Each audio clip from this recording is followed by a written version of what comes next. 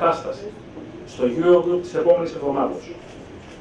Θα πρέπει να αναλυφθούν συγκεκριμένες πρωτοβουλίες αντιμετώπισης των αρνητικών συνεπειών της εξάπλωσης του ιού στη μεγέθυνση των οικονομιών και στα δημόσια οικονομικά. We looked at the new unexpected Κοιτάξαμε τις καινούργιες και ευνίδιες προκλήσεις που η Ελλάδα αντιμετωπίζει. Οι οικονομικές επιπτώσεις του κορονοϊού και το προσφυγικό ζήτημα. Όπως είπατε και συμφωνώ, το ευρωπαϊκό δημοσιονομικό πλαίσιο επιτρέπει μια ευελιξία για απροσδόκητες εξελίξεις που ξεφεύγουν από τον έλεγχο της κυβέρνησης. Το Eurogroup πρέπει να αποφασίσει εάν αυτή η ευελιξία θα πρέπει να χρησιμοποιηθεί και σε ποιο βαθμό. Αλλά θα είμαι προετοιμασμένος να υποστηρίξω μερικές από τις ιδέες σας. Αλλάζουμε θέμα κυρίες και κύριοι. Πάμε στο μέτωπο του προσφυγικού όπου έχουμε εξελίξει.